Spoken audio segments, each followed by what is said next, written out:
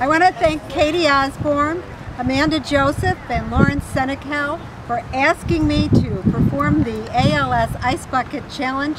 I willingly accept that challenge because there are many members of our community who have suffered from this disease and we hope to bring attention and funding to fight ALS. So I'm going to ask all of our athletic teams, all the Lakers at SUNY Oswego, to get together in one group, put on their uniforms, and perform the ALS Challenge to do exactly that, bring attention and support for the fight against ALS. Thank you.